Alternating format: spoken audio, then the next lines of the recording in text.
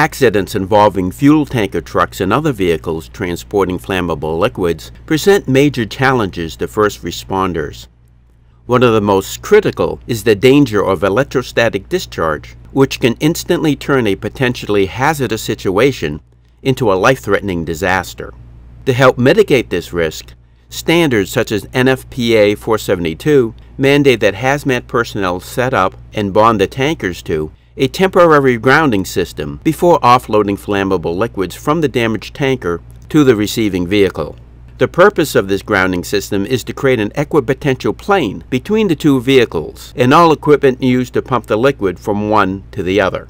To help make this process as easy and safe as possible, AEMC has introduced the Static Ground and Test Kit, this portable system contains all the necessary equipment for creating and testing a temporary grounding system for the transfer of hazardous materials, including a test instrument and accessories to ensure the system is fully functional and in compliance with relevant standards. The kit enables responders to ensure the safe transfer of hazardous liquids by minimizing the risk of spark ignition due to electrostatic discharge. This video explains how to use the Static Ground and Test Kit. We begin by describing the kit's components. We then demonstrate how to use the kit to set up a temporary grounding system, and then test this system to ensure it provides the grounding performance required for your location. Finally, we explain how to connect the grounding system to the damage and receiving tankers and other equipment. The kit is packaged in a hard shell case designed for rugged environments and consists of two parts. The first includes rods for creating a grounding system, these are steel rods with copper cladding to prevent corrosion and rust. The grounding system can consist of a single rod or multiple connected rods. Typically, you will create one grounding field for the damaged tanker and a second for the receiving tanker. You can also create a separate grounding field for the transfer pump in cases where it is a portable standalone device not mounted to the fire truck. An insertion extraction tool for installing and extracting the rods. Auxiliary electrodes for testing the grounding system. These electrodes are used for injecting test current and measuring potential. Couplings for connecting rods in situations where the rods must be hammered to a greater depth to achieve the required resistance reading. The second part of the kit provides the AEMC Ground Resistance Tester Model 3640, a simple to use ground tester that can perform a fall of potential test with a single push of a button. You will use this instrument to verify that the grounding system meets local requirements, as explained later in this video. Color-coded leads for connecting the auxiliary electrodes to the Model 3640. Jumpers for connecting the tankers to their grounding systems and to each other. These connections create the required equipotential plane. The jumpers consist of bare stainless steel wire to ensure they have no hidden breaks. Additional stainless steel jumpers for connecting rods together in locations where multiple rods are necessary to create a satisfactory grounding system. And an easy to follow instruction sheet. Our first task is to select a location for the damaged tanker's grounding field. Ideally, this is outside the hot zone that may exist around the tanker. This is the area in which flammable gases may be present, for example evaporated fuel that has leaked onto the ground. You should first determine the extent of the hot zone, with a gas detector designed to detect these gases and display the lower explosive limit, or LEL percentage. If at all practical, install the grounding system well outside any potential hot zone. Also, if possible choose a location uphill and upwind from the hot zone. After a suitable site has been selected, you can install a grounding system. If soil conditions allow, you can insert the rod by hand. In hard or compacted soil, use the insertion extraction tool that comes with the kit to install the rod. Screw the threaded end of the rod into the tool and then install the rod with a hammering motion to a depth of 24 to 36 inches. Then unscrew the rod from the tool. With the first rod installed, we will now measure its effective resistance by performing a fall of potential test with the Model 3640. This involves injecting a low current into the ground at a distance from the grounding rod, and then measuring potential at a point between the grounding rod and auxiliary injector electrode. For more information about performing fall of potential tests, as well as ground resistance testing in general, see the workbook Understanding Ground Resistance Testing, available free on the AEMC website. The Model 3640 runs on AA batteries. We recommend keeping an unused set of batteries in the responding vehicle and installing them on site. This ensures the instrument always has fresh batteries to provide power. It is also good practice to remove the batteries after returning to the station, since the instrument generally will not be used on a frequent basis. In the fall of potential test, the injector electrode should be inserted approximately 80 to 100 feet from the grounding rod, and the potential electrode placed approximately 60 to 62% of the distance from the injector electrode to grounding rod. Both auxiliary electrodes should be placed outside the hot zone. Connect the red lead to the injector electrode. Insert the spindle tool that comes with the kit into the spool to allow it to spin freely. And bring the spool back to the instrument. When a sufficient length of lead has been played out, push the lever on the spool to release the tool. Insert the red jumper into the spool's banana jack. In the other end of the jumper, insert a provided spade clip and attach the clip to the red terminal on the instrument labeled Z. When you do this, ensure the metal jumper strap attached to the red terminal is not connected to the blue terminal. This jumper is not used when performing a fall of potential test. Similarly, use the blue lead to attach the potential electrode to the instrument's blue Y terminal. Finally, use the green lead to attach the instrument's green X terminal to the grounding rod.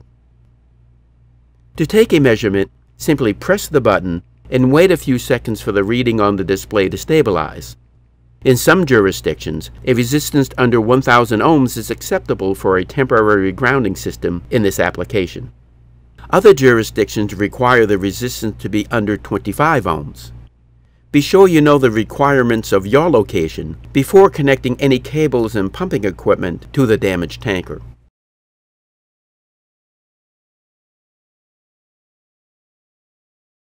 If any of these lights are lit, check all connections between the instrument, auxiliary electrodes, and grounding rod.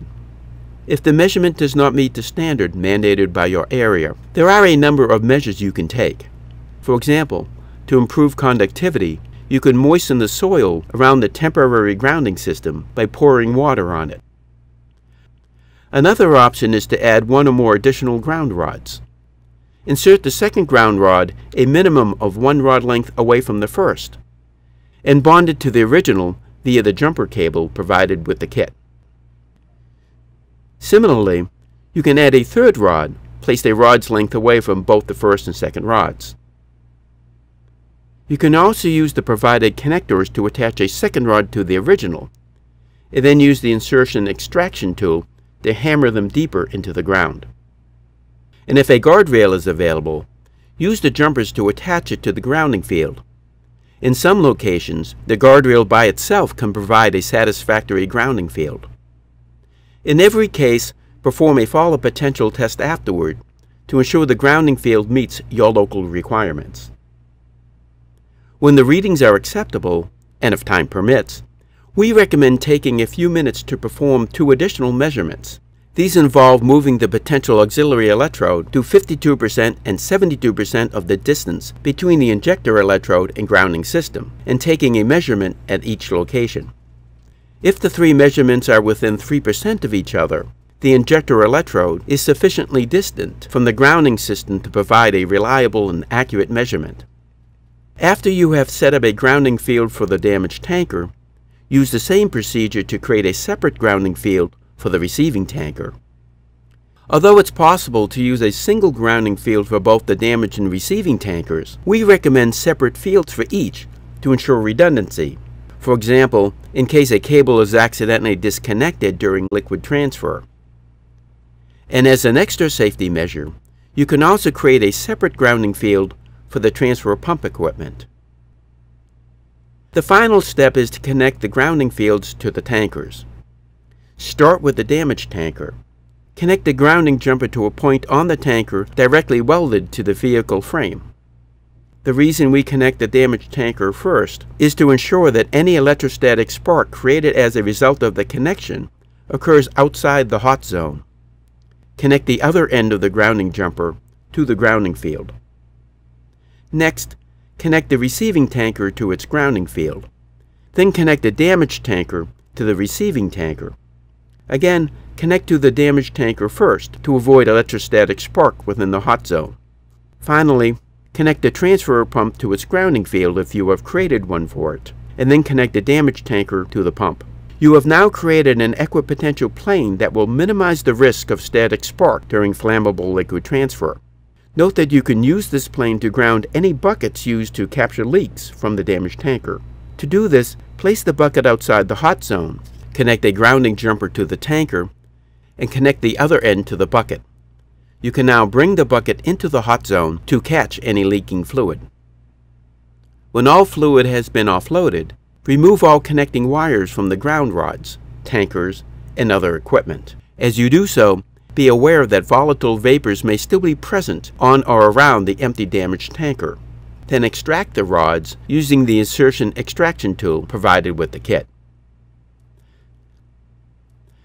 Let's take a moment to review the main tasks required to create a temporary grounding system that provides an equipotential plane for the offloading of hazardous liquids. Determine an appropriate location for the grounding systems outside the hot zone that may surround the damaged tanker. Install the ground fields using the grounding rod supplied with the kit. Create separate fields for the two tankers and ideally the pumping equipment. Perform a fall of potential test to ensure each field provides satisfactory grounding. If not, install additional rods to lower the resistance of the field. Connect each grounding field to its tanker and the pumping equipment. After offloading, disconnect the grounding fields, dismantle them, and return all components to the kit. This concludes our demonstration of the static ground and test kit. For more information about this kit, visit the AEMC website and be sure to check our YouTube channel for instructional videos about other topics in electronics, including the many products offered by AEMC.